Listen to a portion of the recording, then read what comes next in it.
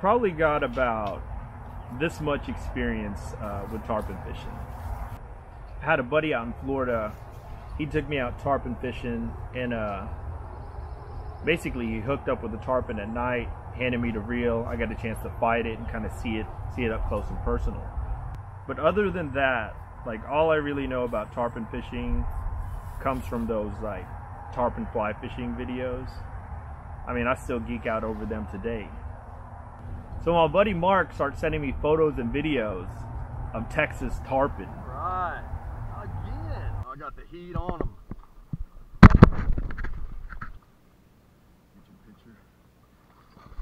Can we put this in rock? Ah, I got one.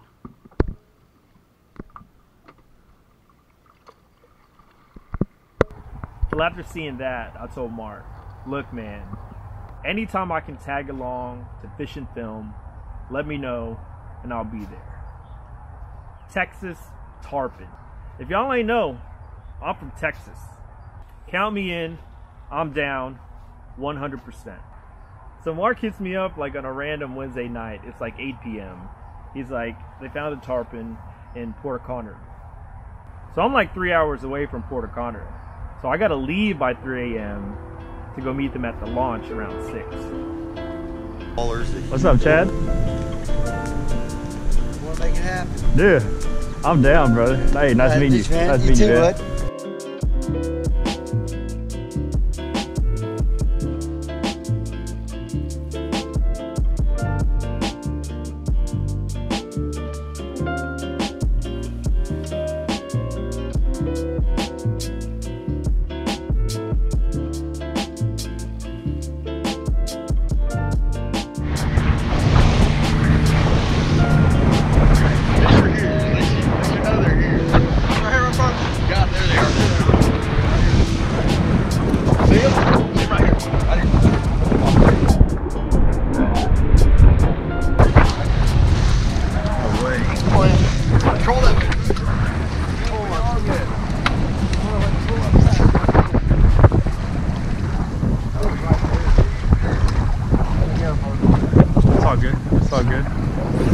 Had the camera on in the excitement. We'll build some drama. We'll build some drama. Good eye, good eye. well, that was about the extent of the action that day. The conditions go to shit, and we're sight fishing, and we just can't see them between the waves.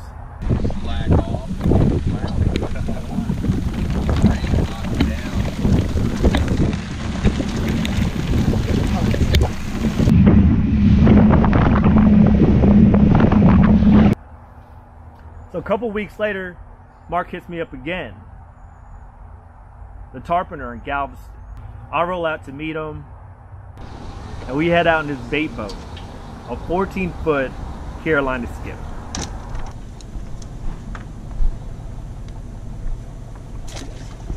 The conditions were perfect. It was glass, no wind. If the fish are out, we'd be able to see them. Right there.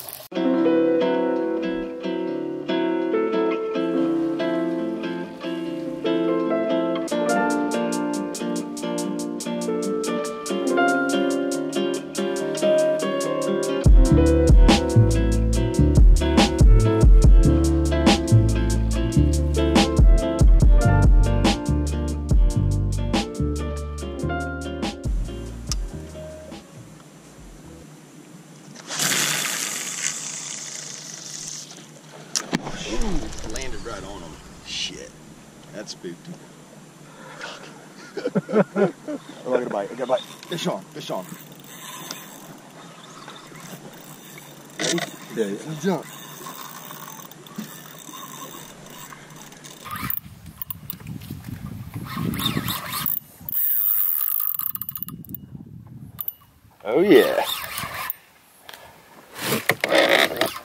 Jump. Oh yeah. Woo! Got it. Oh yeah. nice. Think that? That's some action right there, bro.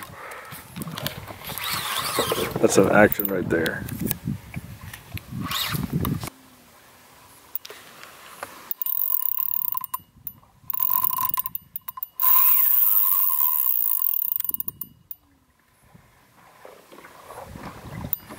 Pulling the boat.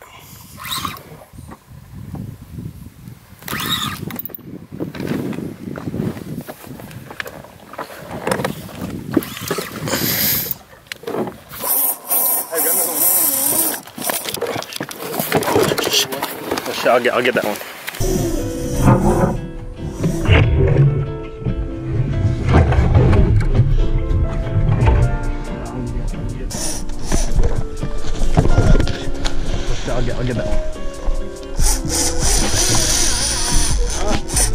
Double hookup, baby.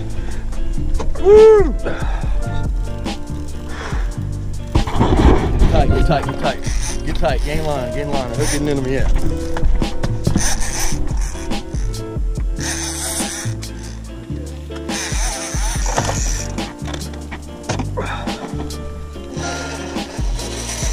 Hell yeah. Double hookup. Double. This one, this one looks big. That's bigger than mine. That's a big one. That is a big one.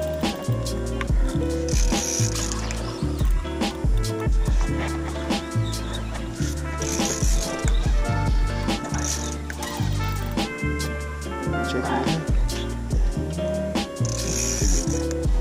Just keep cranking, right? Uh, might be about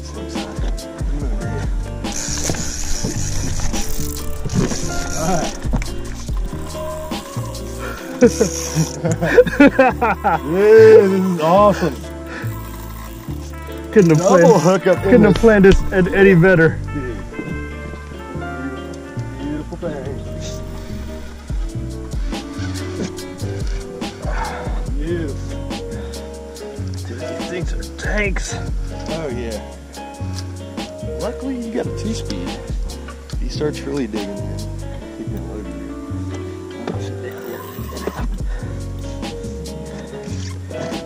Got the best gas tank mount around. See her posted up, fighting tarpon.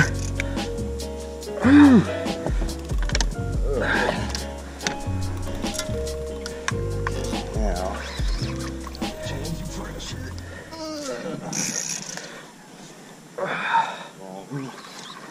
Really want to keep our fish apart.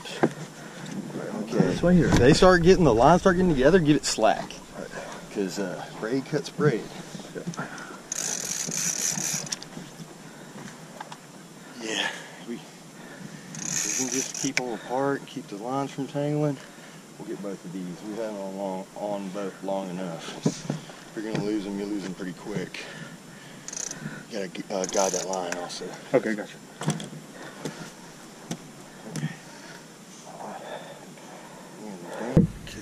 Okay, gap.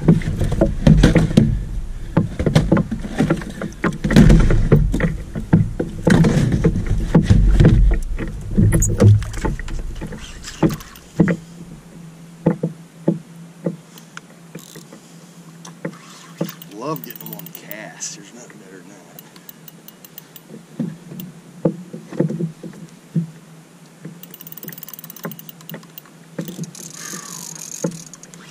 Oh, I'm getting whooped. How about you? Jesus. I'm ready. All right.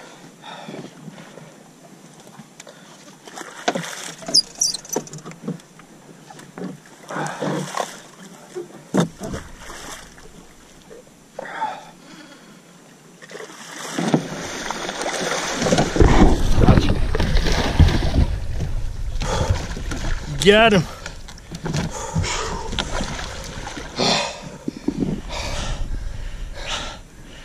Woo! Pintown.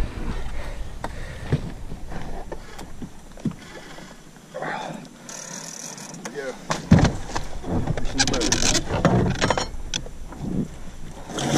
That's that's legal to do here, right? Yeah, not in Florida.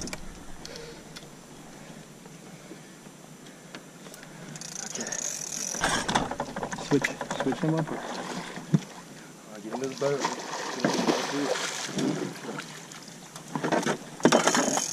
Pictures. Here you go. Got this. Get it back in the water.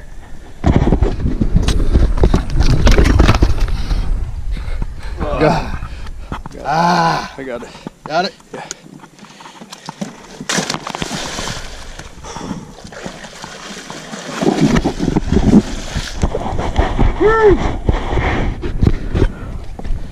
Trip. Ah, no mas. Tarpon shit everywhere. Serious.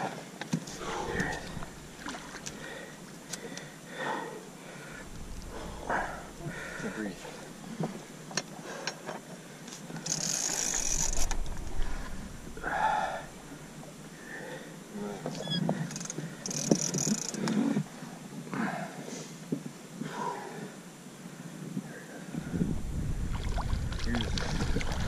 A little bit.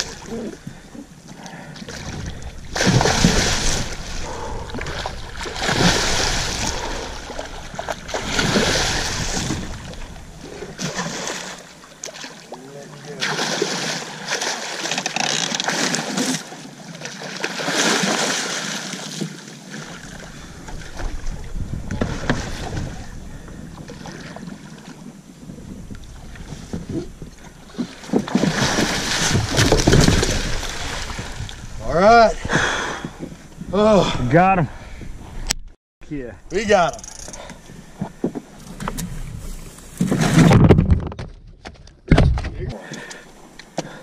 Damn, that's a big one. Dude, that's a monster. dude. That might be one.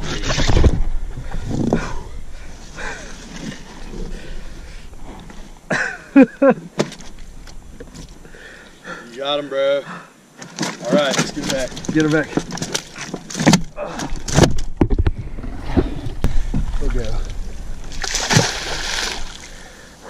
Okay, get on the trolling motor. Let's revive him.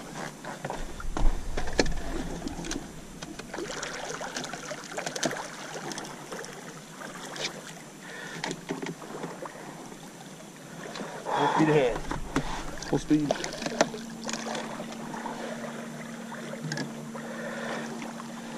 Yeah. Don't get no better than that. No way.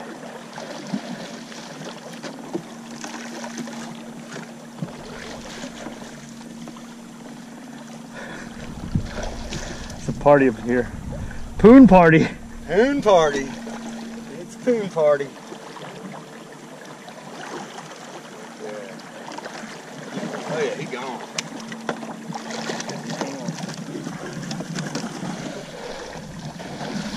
Bro, Dope. That's what it's about, huh? That's what That's it's about. shit right there, boy. I don't care who you are.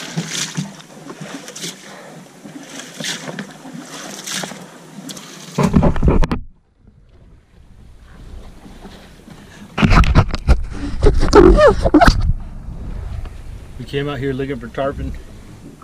Ended up doubling up. How y'all doing?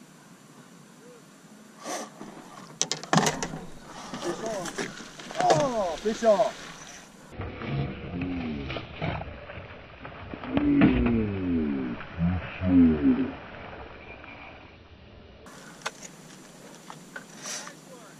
Missed that one.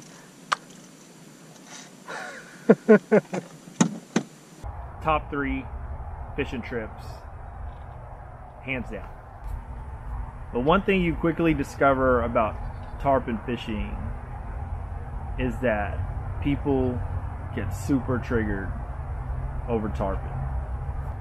I get it, man. You know, tarpon's a bucket list fish.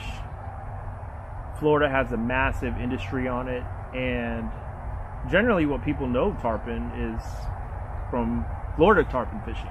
You know, people get really passionate about it, man. It gets as heated as like talking about like religion or, or politics. Tarpon. After we caught these fish, I knew we would get some shit for the handling. We lipped them, we brought them in the boat. I mean, I've seen some shit go down on social media over some tarpon photos. There's a story that came out of Port O'Connor a little bit after we caught our tarpon. This guy hooks up with a tarpon, like a 240 pound beast of a tarpon. And the kicker is, he's a dad, and he catches this fish on his son's bachelor party. I mean, how cool is that?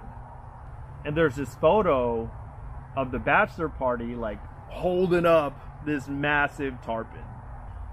I mean, that's like a once in a lifetime catch. And to be able to do it on your son's bachelor party, that's pretty badass. So those photos get shared on social media and people start tripping.